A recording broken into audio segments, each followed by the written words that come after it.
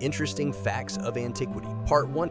The oldest human footprints in Tanzania date back 3.7 million years. This demonstrates the ancient roots of humanity on the African continent. The 1979 Swedish protests against the pathologization of homosexuality showed the power of civil society and the importance of fighting for minority rights. The use of wigs in the Baroque era was often dictated not only by fashion, but also by attempts to hide the effects of syphilis, including hair loss. The name of the fruit avocado comes from the Aztec word for the male sex glands, due to the similarity of shape. Warning signs outside houses in Pompeii, such as beware of the evil dog, reflected the everyday realities of that time.